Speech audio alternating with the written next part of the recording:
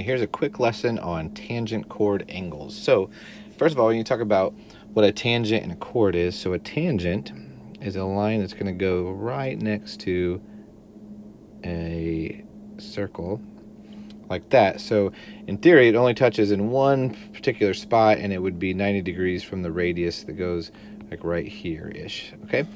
So, that is a tangent, and then a chord is a, a uh, line segment that just goes from one side of the circle, well, one point of a circle to another point. So um, it's going to wind up sharing the point with this tangent.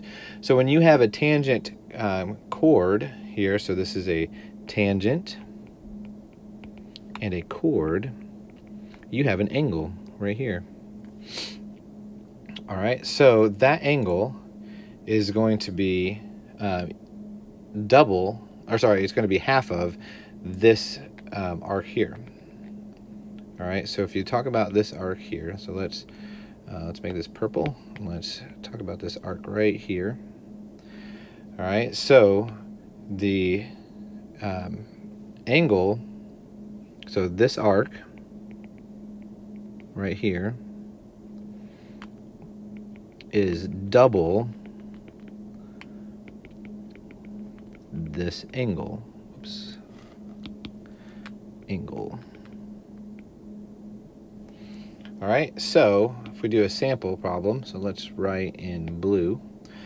So if I know that this arc is, um, let's say, 100 and, nope, that's a 200. Let's, just, let's, let's just say it's 200 degrees. So this arc is double this angle. So this angle then would be 100 degrees. Okay, and then this line would here would be 160 degrees because the, the whole circle is 360 degrees. Okay, and this angle here would be half of 160, which would be 80 degrees because these form a straight line, which is 180 degrees. So that's how that works. So um, anytime so if you as long as you know any part of this you can figure out the other parts pretty simply. So remember that the arcs are double the size of the angles. All right? So that's all you need for the tangent chord angles